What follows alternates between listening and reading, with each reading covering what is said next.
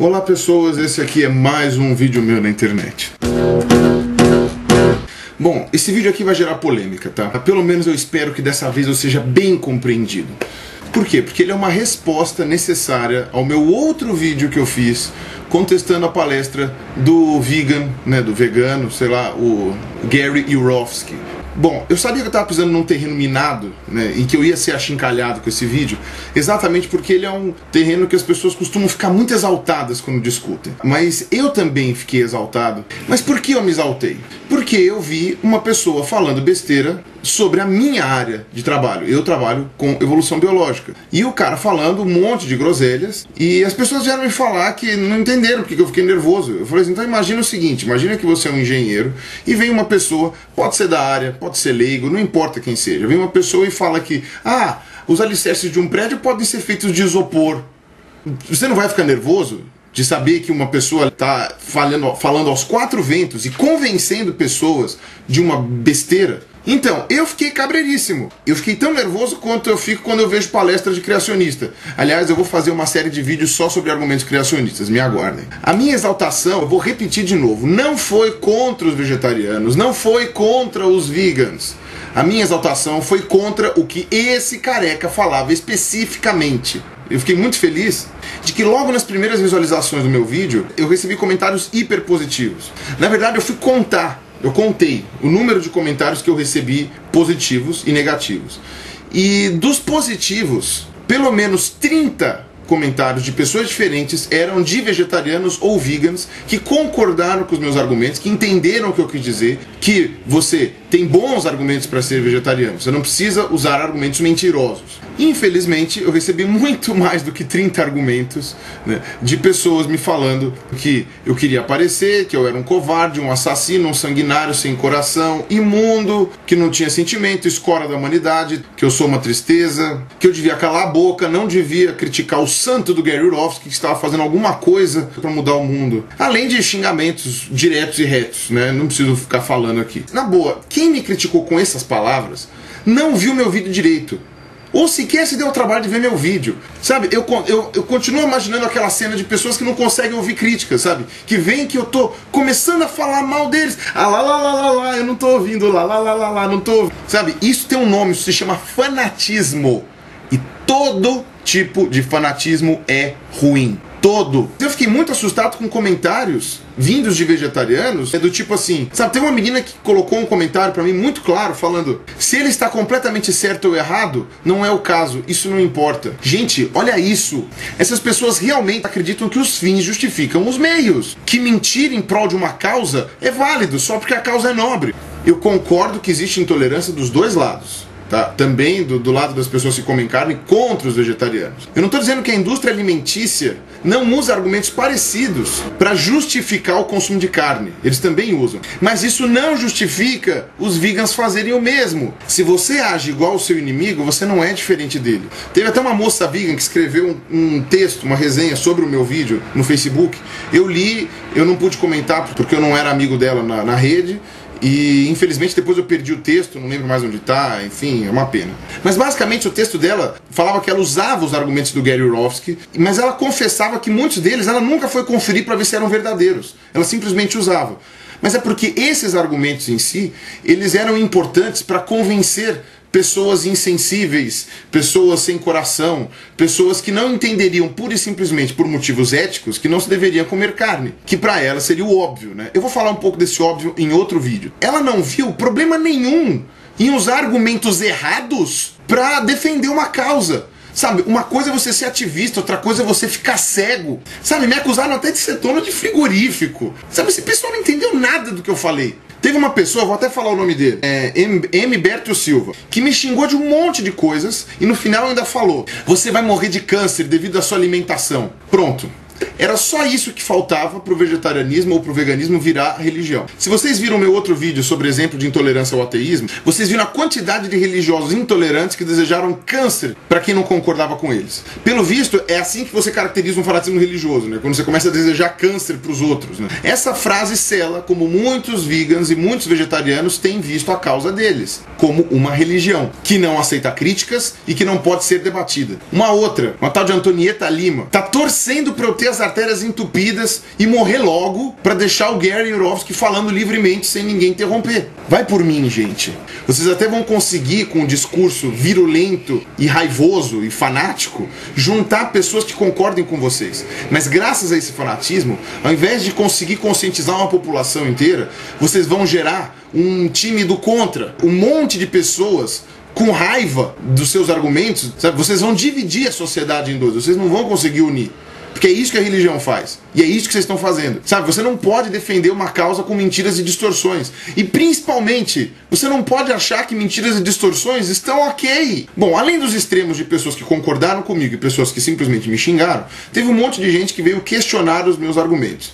Esse vídeo que eu estou fazendo é basicamente para explicar esses argumentos. Bom, vamos lá. Primeiro, colesterol. Aqui eu vou ter que dar um crédito que realmente eu, eu me enganei um pouco no meu outro vídeo. O Gary falou na frase original que sendo vegan você elimina completamente o colesterol da sua dieta. Isso realmente é verdade. O colesterol é uma molécula de origem animal. Fato, só animais têm. Nós somos animais, nós temos colesterol naturalmente. O colesterol faz parte das membranas celulares, todas elas, já todas as suas células têm colesterol, tá? E todas elas produzem pelo menos minimamente colesterol. Só algumas células do seu corpo é que produzem mais colesterol do que as outras, basicamente as células do fígado. Eu vou aceitar que a opinião clássica, tá? O colesterol de baixa densidade é ruim, é ele que entope a artéria e faz você ter infarto, derrame, essas coisas. Eu dei no outro vídeo o exemplo da fritura em óleo vegetal, que é ruim porque aumenta o seu colesterol. E isso é fato. Mas não porque você ingere o colesterol, mas é porque, principalmente quando você frita as coisas em óleos vegetais parcialmente hidrolisados, como por exemplo é o caso do óleo de soja, que é o que a maioria das pessoas usa para fritar batata frita, polenta ou sei lá, mandioca, você está ingerindo gordura trans. Essa gordura trans, o seu lindo fígado transforma em colesterol ruim entupindo a sua artéria. Ou seja, dá no mesmo. Aí não sei quem veio me falar também que o bom vegan não come fritura. Isso o Gary não falou na palestra dele. E aí eu fui estudar e eu vi que você substituindo, na verdade, o óleo de soja por óleo de canola ou por óleo de girassol, por exemplo, você já resolve o seu problema. Você não tem mais gordura trans. Vamos ser sinceros, vai que vidinha sem graça, sem fritura, vai. Sabe, sem carne eu até aguento viver, cara. Agora sem fritura tem como. Dois, que a violência é natural. Muitos falaram que eu valorizei demais o fato do Gary ter falado que as pessoas consomem carne como se fosse natural é, consumir violência e morte. Mas o fato é que a violência é natural. Ela não é desejável, ela pode até não ser correta, mas ela é natural. Igual o exemplo do estupro que eu dei no meu outro vídeo sobre moralidade ateísta. A forma como um leão trata uma gazela é violenta. Por que, que eu digo que é violenta? Porque se você transferir aquilo que está acontecendo entre o leão e a gazela para um humano, de qualquer interpretação, aquilo seria violento. Você pode até ser pacifista, mas você não pode negar a existência da violência no mundo natural, sabe? Então, vamos defender isso daí com outras palavras. Terceiro, carne faz mal. Para começar, em nenhum momento do meu vídeo anterior eu falei que nós éramos carnívoros. Eu falei que nós somos onívoros. E inclusive disse que a carne não é a base da nossa alimentação, ou pelo menos não deveria ser. A gente deveria comer mais vegetais do que carne. E eu até expliquei o motivo da gente não ser estritamente carnívoro. A gente não pode, é um problema fisiológico. Tirando lugares em que você não tem nenhuma opção além da carne, tipo os esquimós, ou sei lá, o pessoal que mora na Patagônia, qualquer nutricionista vai falar para você que para você melhorar a sua saúde, você tem que comer mais vegetais. Carne vermelha tem mais gordura e, portanto, faz mais mal para a saúde. Eu nunca neguei isso. Mas os vegetarianos, eles falam muito pouco de carne branca. Aves, peixes, crustáceos, moluscos, nada disso é carne vermelha, nada disso tem excesso de gordura. Agora, parte dos malefícios que estão associados a carne branca e a carne vermelha também é a quantidade absurda de hormônios que são dados para os bichos para eles crescerem mais rápido, para eles engordarem mais, qualquer outra coisa. Logo, o problema em geral não está na ingestão de carne, o problema está na maneira como nós produzimos a nossa alimentação hoje. A maioria das plantas que a gente come hoje são transgênicas e são produzidas utilizando toneladas e toneladas de agrotóxicos e pesticidas que fazem muito mal. Existem alguns estudos dizendo que o linfoma não Hodgkin, que foi aquele que atacou o Janequine e a Dilma, estão associados em muitos casos, a, a, exposição a pesticidas e a fertilizantes. Um cara que é, que é vegetariano por causa da saúde, veja bem, ele também tem que se restringir a comer vegetais orgânicos. Ele não pode comer nenhum vegetal que tenha sido produzido pela produção em massa e de larga escala da agricultura atual. Só que não dá para o mundo inteiro ser assim. Isso é impossível. Na verdade, a gente só não morreu de fome por causa da Revolução Verde, a Revolução Agrícola que aconteceu no começo do século XX, que foi quem começou a fazer essas produções gigantescas de plantação. Se você defende o veganismo apenas, veja bem, apenas porque o consumo de carne faz mal, você também tem que ser contra a produção agrícola em larga escala. E se você também é contra, então você não pode criticar o cara que tem uma horta no seu quintal, mas que também tem umas galinhazinhas que ele vai matar no final de semana para fazer um frango caipira com batatas. Se você, mesmo ouvindo meu argumento, ainda acha que é errado o cara consumir a galinha, então, desculpa, o seu veganismo não é defendido por questões de saúde, é por outros argumentos. 4. Sobre a asma e outras doenças na família dele. O cara falou que a família dele teve um monte de doenças, disse que é só você olhar para a família de todo mundo que tem um monte de doenças, ele associou todas essas doenças ao consumo de carne. Ainda que depois ele tenha falado, ah não, mas você pode dizer que umas é poluição ambiental, tal, não sei o quê. Aí muitas pessoas vieram me falar que realmente a, a asma ela está associada em alguns casos a um tipo de reação com o consumo de laticínios. Mas essa não é a única causa. Ele não especificou se a mãe dele tinha asma por causa do consumo de laticínios. E isso faz toda a diferença pro argumento dele. Senão tá parecendo que ele vai falar: para de comer carne, as suas doenças vão sumir todas E isso é mentira. Por exemplo, o desenvolvimento da diabetes realmente pode ter alguma relação com o consumo de alimentos de origem animal, mas também com o consumo abusivo de açúcar. Assim como a hipertensão também pode ter uma relação com o consumo de alimentos de origem animal, mas pode ser por excesso de sal também. Enfim, culpar o consumo de carne por todas as mazelas da humanidade não é só generalizar e, e, e ser simplista, não. É ser fanático. E como eu disse, todo fanatismo é ruim. Sempre. 5 sobre sermos 100% biologicamente herbívoros. Ok, nessa parte eu falei no meu outro vídeo que o Gary estava mentindo. Aí algumas pessoas falaram que na verdade ele só estava enganado, então outras disseram que ele estava desatualizado, algumas disseram que esse não era o ponto principal da palestra dele, enfim, um monte de outros eufemismos. Eu pergunto para essas pessoas, na boa, vocês acreditam em Papai Noel? Vocês acham que uma pessoa que dedica sua vida inteira para a causa vegan não vai correr atrás das informações disponíveis sobre isso. Esse é o principal assunto de interesse dele. Ele já ouviu os argumentos da biologia evolutiva sobre o fato de nós sermos onívoros. Só que das duas, uma. Ou ele não quis ouvir, lá lá lá lá lá, eu não tô ouvindo, lá lá lá lá lá lá. Ou simplesmente ele omite essa informação de propósito, porque ela não é adequada para os objetivos que ele tem na palestra dele. Desculpa, de um jeito ou de outro,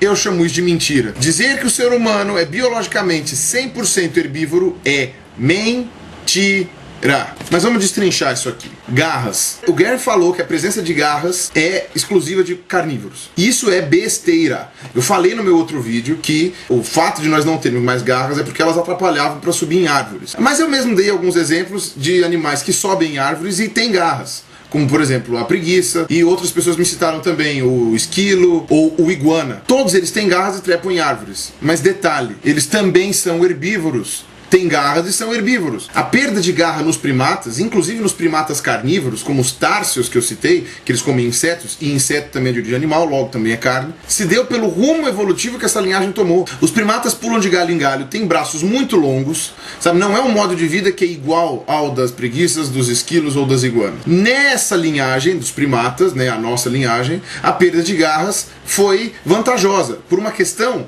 de hábito de vida, não de hábito alimentar. As garras surgem na história evolutiva em amniota, ou seja, nos grupos de vertebrados que têm ovo amniótico. Hoje você tem os répteis, as aves e os mamíferos como representantes desse grupo. A garra é uma característica antiga, ela é ancestral, e algumas linhagens perderam as garras. Dinossauros herbívoros tinham garra seja para defesa, seja para ajudar a segurar os galhos. A perda das garras em algumas linhagens acontece por outros motivos. O Gary parece é, dizer que os únicos herbívoros que existem são os animais de casco. E os animais de casco, obviamente, perderam as garras. Mas não porque eles eram herbívoros, eles perderam as garras por causa do tipo de locomoção que eles desenvolveram. Seria o mesmo que falar para vocês, por exemplo, que os golfinhos não têm garras, logo eles teriam que ser herbívoros. É óbvio que os golfinhos não têm garras, mas é por outros motivos. Eles são animais aquáticos. Percebe como usar só o argumento da alimentação é ridículo. A existência ou ausência de garras não caracteriza alimentação. Nenhum dos argumentos que o Gary usou na palestra dele tem a ver com herbivoria. Não pelo menos de forma causal ou direta. Tirando um argumento: dentes. Mostre-me seus dentes e eu te direi quem és. Já dizia o Barão de Cuvier, né, considerado o pai da paleontologia. Tamanha a importância dos dentes na determinação da, das características alimentares dos animais. E em mamíferos ela é fundamental. Então eu vou fazer o seguinte: eu vou colocar aqui embaixo uma uma régua em que num extremo é o carnívoro total, no outro extremo é o herbívoro total. E no meio um degradê enorme com um monte de formas intermediárias. Tudo isso no meio do, do caminho é chamado de onívoro pelos zoólogos. Ou seja, ou seja, colocar onívoro no mesmo saco é a mesma coisa que colocar palmeirense, corintiano e São Paulino na mesma arquibancada. Sabe, não tem nada a ver. Existem graus de onivoria, cada caso é um caso e cada exemplo tem que ser olhado de forma independente. Então eu vou deixar essa barra aqui embaixo para vocês irem vendo à medida que eu for citando os bichos, tá? Então eu vou fazer o seguinte, eu, eu vou dar um pulinho num lugar que é muito melhor pra gente falar sobre isso, tá? E aí vocês vão poder ver uma coisinha um pouco mais prática, tá? Vamos lá. Bom, gente, então eu estou aqui num lugar um pouco mais apropriado para a gente falar sobre esse assunto, tá? É, aqui é a coleção de mastozoologia, ou seja, a coleção de mamíferos, né, do Museu de Zoologia da Universidade de São Paulo. O pessoal, eu vou colocar o nome da, da, de agradecimentos aqui na descrição do vídeo, né? O pessoal cedeu o meu espaço aqui para poder explicar usando os crânios de verdade dos bichos, né, para ficar uma coisa um pouco mais legal. Bom, então vamos, vamos dar uma olhada. Vocês lembram daquela barrinha que eu coloquei aqui embaixo, né? Então, esse aqui é o crânio de uma onça, é um felino, tá? Uh, os felinos são, grosso modo, 100% carnívoros. Eles são carnívoros mesmo, estrito. Eles só comem carne. Então, vou dar uma mostrada nos dentes deles, para você ver que, realmente, os dentes de uma onça, assim como o dente de qualquer gato, né, eles são achatados lateralmente e eles têm essas cúspides, que são essas protuberâncias aqui, extremamente elevadas, como se fossem lâminas mesmo. Tá? Se você olhar o encaixe com a mandíbula, você vai ver que eles encaixam como se fosse para fazer, como se fosse para fazer um corte. Tá vendo? É um corte lateral que é exatamente para rasgar a carne. É um carnívoro, tá? Aquela coisa que o Gary tinha falado sobre a movimentação da mandíbula, tá aqui, ó. Aqui na área de encaixe tá, da mandíbula com o crânio, né? Você tem esse processo aqui. Esse processo aqui chama de processo preglenoide. É um processo que impede a movimentação da mandíbula do bicho para frente e para trás. Por quê? Porque ela vai pegar a presa, prender e arrancar um pedaço. Não vai poder ficar sambando muito. Tá? Então, isso é um exemplo. Vocês podem ver que aqui ele tem um molar. Esse é o único molar que os felinos têm. É um molar minúsculo, ridículo, que não faz nada e não mastiga nada. Beleza. Então esse é o crânio de uma onça. Vamos pegar agora o outro extremo. Um outro extremo. Vamos pegar o crânio de um bovino. Tá? Só para vocês verem o tipo de dente que tem. Tá vendo? É um tipo de dente que é praticamente contínuo. Tá? É um dente alto. A raiz é bem profunda. E ele tem uma esses sulcos internos. Tá? Essas esses pedaços aqui dentro dos sulcos são pedaços de comida mesmo, que ficam encaixados dentro desses sulcos. É um animal basicamente granívoro, come grama, né, que é um, são talos duros que ele tem que ficar mastigando, e são ruminantes, ou seja, eles mastigam o tempo inteiro. Por isso que os dentes têm que ser esses dentes perfeitos para ficar o tempo inteiro se uh, sofrendo abrasão pelo, pelo contato com a comida. Então vocês podem ver aqui, ó, que eles se encaixam perfeitamente um no outro para ficar fazendo isso aqui, ó, para ficar roçando um no outro enquanto mastiga a comida. Esses bichos passam a vida inteira mastigando. Esses dois animais que eu mostrei aqui, o, a onça e a vaca, né, que estão na, nas extremidades da, da, alimentares, né, uh, até pode ser que eventualmente come uma coisa diferente, mas é um comportamento aberrante. Tá? Eu conheço gente que tem gato que toma café e come tomate. Sabe? Mas não é uma, um alimento nutritivo, não é um alimento que o organismo desses, desses caras consiga absorver. Eles precisam comer carne, além de comer tomate e tomar café. Sabe? Uh, a mesma coisa com vacas, né? Você tem até um vídeo, vou deixar um link aqui embaixo, é de uma vaca que come um pintinho. Né? Uh, mas é um comportamento aberrante. Tá, às vezes pode ser um comportamento aberrante por uma questão de estresse, a domesticação também às vezes altera completamente o instinto do bicho, né? porque obviamente que um gato não ia encontrar pó de café no ambiente selvagem. Bom, isso aqui é o crânio de um lobo cinzento, tá? que deu, é um, um, o mesmo espécie que deu origem aos cachorros domésticos. Tá? Uh, o lobo cinzento é um bicho que come basicamente só carne. A base da alimentação dele é carne. Mas ele eventualmente come uma fruta ou alguma coisa que, que possa aparecer. Não é a base da alimentação dele. Tá? Vocês podem ver aqui que a maior parte dos dentes dele são dentes parecidos com os do gato. São dentes de corte, com cúspides altas, que formam uma lâmina para cortar. Tá vendo? Uma lâmina de encaixe para cortar aqui. Mas ele tem dois dentes achatados no fundo da boca. Ele tem dois molares, coisa que os gatos não têm. Esses dois molares servem para eles mastigarem uma ou outra coisinha que apareça. E esse aqui é o crânio de um cachorro brasileiro, é o lobo-guará. Tá? O lobo cinzento é considerado menos onívoro do que os outros cachorros. Tá? Esse daqui já é um pouco mais é, onívoro. Prosseguindo agora, isso aqui é, a, é o crânio de um coati. O coati ele pertence a uma família chamada Procyon tá? e estão dentro da ordem carnívora. O fato da ordem se chamar carnívora não tem a ver com a alimentação, tá? tem a ver com a ancestralidade comum desses bichos. Esses bichos descendem do mesmo ancestral e a maioria deles é carnívoro. Mas isso não quer dizer que todos os bichos da ordem sejam especificamente carnívoros e também não quer dizer que não existam carnívoros fora dessa ordem. Tá? É só um nome, um nome que às vezes pode confundir. Vamos dar uma olhada nos dentes do, do, do coati. Compara com os dentes que eu mostrei do, dos gatos e dos cachorros. Olha a quantidade de dentes achatados no fundo da boca, os molares, que eles utilizam para mastigação. O coati come de tudo. Ele come é, ovos, ele come pequenos roedores, ele come lagartinhos, ele come planta, ele come fruta, ele come folhas, ele come o seu sanduíche se você vacilar. O... Ele tem então esse aparato para poder uh, mastigar e cortar. Ele tem esses dentes da frente que cortam e esses dentes de trás que mastigam. Certo? Bom, vamos pegar um outro bicho que é classicamente onívoro. O urso. Esse crânio aqui eu acho que é de um urso negro ou de um urso pardo. Tá? Mas uh, o urso é um animal onívoro por definição.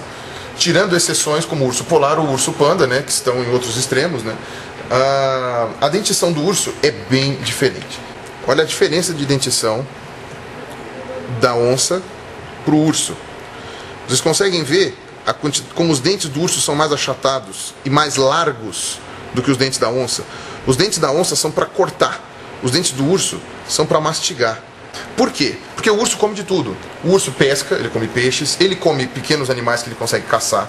O urso come uh, insetos, ele come frutas, gramíneas, ele come sementes, ele come mel, enfim, o urso ele, ele, consegue, ele consegue ter uma alimentação bastante variada. O urso tanto é um animal onívoro que você pode ver que a, a, o processo pré-glenoide dele aqui, ele é reto praticamente. Isso quer dizer que o urso ele consegue ter um pequeno jogo de mandíbula. Tá? Apesar de não ser muito grande, ele consegue ter essa possibilidade. Diferente do gato, por exemplo, que aqui você tem uma trava que impede ele de mastigar. Então agora vamos para o outro extremo. A gente vai pegar um bicho onívoro mas que pertence à mesma ordem da, da vaca, tá? dos bovinos, tá? que chama artiodátila, são os animais de casco fendido. O porco. O porco, esse aqui é um porco doméstico, você vê uma singela cabecinha. O porco doméstico, ele é onívoro, ele come de tudo. Até os, o pessoal que mora no, no, na zona rural comenta que é super perigoso quando tem aquelas manadas de queixada ou de cateto, que são porcos selvagens, né? que porque eles são perigosos mesmo, eles derrubam e eles passam por cima, eles têm aquelas presas que eles matam e, e podem comer também. Eles comem animais mortos, eles comem ovos, eles comem pequenos animais, né, vivos mesmo, é, eles comem frutas, eles comem vegetais, eles comem tubérculos, eles comem de tudo. Vamos ver os dentes deles. Bom, esse é um porco doméstico, vou mostrar aqui na parte, na parte superior. Olha a quantidade de dentes achatados que esse bicho tem ele tem muito mais molares do que os carnívoros. Né? O dente do porco ele é tão parecido com o dente do ser humano que em algumas escavações arqueológicas, os arqueólogos às vezes têm dificuldade de identificar se os dentes isolados, se eles pertencem a humanos ou a porcos. Né? De tão parecido que são os dentes do porco com o nosso. E os dentes do porco, eles são achatados, cheio dessas cúspides, que são essas, é, essas bolotinhas em cima do dente, feitas para mastigar é muito parecido com o dente do urso. Dá uma olhada. Tá dando pra ver? É muito parecido com o dente do urso, que é um bicho que pertence à ordem carnívora. Ou seja, são dois grupos animais que têm origens evolutivas distintas, que desenvolveram uma forma de alimentação parecida e, portanto, têm dentes parecidos. Certo? Bom, e por final, eu peguei alguns exemplos de primatas, tá? Para a gente conseguir mostrar o que acontece com a, o nosso grupo, certo? A gente tem aqui uma cabecinha que parece uma cabeça de um humaninho, né, uma cabeça de uma pessoinha. Na verdade, isso aqui é a cabeça de um macaco prego. Tá? Vocês podem ver aqui que ele tem a face achatada, os olhos grandes, a cabeça bem, o, o crânio bem abaulado. Né? Vamos ver como é que são os dentes do macaco prego. O macaco prego tem dentes achatados, largos, exatamente como os nossos. Tá? Ele tem caninos maiores. É, mas por quê? Porque os caninos eles não servem só para comer carne. Isso é um erro muito grande dos argumentos do pessoal que defende o consumo de carne. Eles falam que nós somos carnívoros porque a gente tem canino. Isso é mentira. Na verdade, os, os caninos eles servem para segurar frutas. Né? Imagina que você está subindo de galho em galho, você não tem como segurar a fruta com uma mão e pular com a outra. Você põe a fruta no meio da boca, prende ela com os caninos e aí você consegue uh, ficar com as mãos livres. Ele também serve para defesa, às vezes, para você briga entre machos, etc. Né? Se eu fosse um carnívoro sanguinário que quisesse apenas falar os argumentos contra os vegetarianos, eu estaria ignorando esse, esse argumento. E eu não estou. Eu estou falando, inclusive, que esse é um argumento errado, usado pelo pessoal que ataca o, o, os vegetarianos. Tá? Uh, o que é interessante de mostrar na, na, na, na, boca desse bichinho aqui, dele ter dentes parecidos com os nossos, é que o macaco prego ele se alimenta exatamente das mesmas coisas que a gente. Ele come muito inseto, né? ou seja, ele tem alimentação em produtos de origem animal. Ele come uh, frutas, é claro, né? a base da alimentação dele são frutas. Ele come sementes, ele come algum pequeno animal que ele consegue é, encontrar. Ou seja, ele é onívoro. Bom, então, eh, gente, era mais ou menos isso que eu queria mostrar aqui na, na coleção de mamíferos do Museu de Zoologia da, da Universidade de São Paulo. E vamos voltar então agora para terminar o assunto. Tem até caso de canibalismo entre chimpanzé. Eles só não caçam mais porque é trabalhoso, dá trabalho caçar. As frutas estão muito mais fáceis de pegar. Provavelmente essa era a forma de alimentação do ancestral primata, dado o fato de que a maioria dos primatas se alimenta dessa forma. Né? E também o fato da dentição da maioria dos primatas ser quase igual, para manter uma dieta onívora abrangente. Nós humanos somos biologicamente 100% onívoros. Quem fala o contrário ou está enganado ou está enganando? Bom, e por fim os desafios do Gary, né? Como a história lá de que se você deixar um bebê num berço com uma maçã e um coelhinho, ele vai comer a maçã e brincar com o coelhinho. A gente tem zero instinto de caça e portanto a gente só vai comer a maçã. Eu rebati esse argumento dizendo que o bebê não sabe nada. O bebê não vai comer o coelho, mas também não vai comer a maçã. E que se fosse um animal ou uma fruta que coubesse inteira na boca do neném, provavelmente ele ia conseguir comer. Criança põe tudo na boca mesmo. O desafio dele é tão esdrúxulo que seria o mesmo que eu tentar provar provar que nós somos carnívoros e mandar o Gary ir comer 10 quilos de grama no pasto. Mas aí as pessoas falaram, ah, porque ele foi sarcástico. Desculpa, o desafio dele não é sarcástico. É muito fácil defender o argumento dizendo que, ah, é só sarcasmo. Ele pediu, inclusive, numa piadinha que ele fez, que se você achasse uma criança que tivesse comido o coelho no berço, que telefonasse para ele na hora. Bom, eu vou pedir para alguém aí se vocês têm o telefone dele, porque semana passada eu vi o caso de um bebê de um ano em Israel que arrancou a cabeça de uma cobra mordendo. Ok, ele não engoliu a cobra, né? Talvez porque os pais tenham chegado antes. Mas a cobra não picou o bebê antes, ou seja, não foi legítima defesa. Simplesmente a cobra estava passando e nem pegou, e acabou arrancando a cabeça do bicho. Isso foi porque nós somos carnívoros? Não. Isso é porque era uma criança e criança faz criancice. Ah, pirula, mas o seu argumento também é falacioso. Ah, tudo bem, você não concorda? Então tudo bem, então eu vou falar que na verdade ele foi sarcástico. Pronto, aí eu tô desculpado, né? Não é assim que funciona? Para encerrar o assunto, eu queria dizer uma coisa muito curiosa. Eu recebi uma mensagem pessoal de um, de um usuário do YouTube, que eu não vou falar o nome, que pediu encarecidamente para que eu apagasse o meu vídeo rebatendo Gary Rofsky. Ele disse que graças ao meu vídeo, duas pessoas que ele conhecia tinham deixado de ser vegetarianas ou tinham abandonado a ideia de se tornar vegetarianas e que meu vídeo estava sendo muito negativo por isso. Ele inclusive comentou de fatores ambientais, me chamou de hipócrita, falou que eu fiz o vídeo sobre a usina de Belo Monte e agora estou defendendo o consumo de carne. Enfim, Primeiro que eu não defendo o consumo de carne, eu só ataco argumentos errados. Inclusive, eu ia fazer um vídeo né, sobre os bons argumentos para ser vegetariano ou vegan, porque muitas pessoas tinham pedido para fazer esse vídeo. Eu acabei não fazendo esse vídeo porque eu achei que os fanáticos mereciam uma resposta mais urgente. Mas então eu tenho alguma coisinha para falar para essas duas pessoas que supostamente abandonaram a ideia de se tornar vegetarianos por causa do meu vídeo. Gente, se vocês eram vegetarianos apenas pelos argumentos que o Gary Orlovsky deu, a melhor coisa que vocês fizeram foi abandonar a causa. Isso é exatamente o que acontece quando uma causa é defendida com mentiras. Por quê? Porque quando a mentira ela é revelada, a pessoa se decepciona e larga a mão da causa. Mas a pessoa que me mandou essa mensagem falou que a culpa era minha. Minha! A culpa é de quem inventa mentira! A culpa é desse careca. Os seus amigos que abandonaram as ideias vegetarianas deviam sim, ao invés de ter visto só meu vídeo, ter procurado outras fontes, ter se informado melhor. Se eles eram vegetarianos só pelo motivo biológico e não foram nem pesquisar direito as outras razões, desculpa. Ou eles eram hipócritas já e voltar a comer carne foi só a gota d'água para acabar com a incongruência deles, ou eles são burros, não entenderam nada do meu vídeo. Desculpa, não tem outra explicação. Eu não falei para ninguém deixar de ser vegetariano no meu outro vídeo. Eu falei apenas que o Gary apresentava motivos errados para ser vegetariano. Sabe, eu não sou um mestre a ser seguido, um guru. Eu não sou um messias, dono da verdade. Sabe, eu incentivo as pessoas, ou pelo menos tento incentivar as pessoas a lerem, a se informarem, a pesquisarem, a fazerem isso por si próprias, a correr atrás. Na boa. Dizer que a culpa é minha das, desses seus conhecidos terem deixado de ser vegetarianos é querer eximir as suas próprias responsabilidades sobre os seus atos e jogar em cima de, de outras pessoas. Bom, gente, era isso que eu tinha para falar. Eu não abordei a questão ética aqui porque eu vou fazer isso em outro vídeo, tá? Beleza? Então, é isso que eu tinha para falar. Um abraço.